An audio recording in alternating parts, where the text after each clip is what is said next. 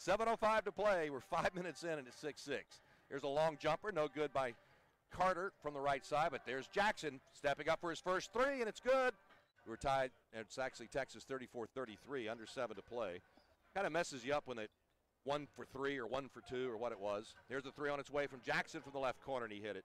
About this time in Frisco, Texas was up by 15 or 16, and Oklahoma City was up double digits this point on Wednesday. Here's Jackson.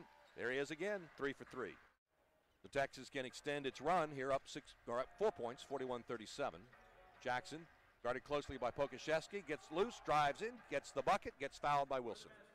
Jackson.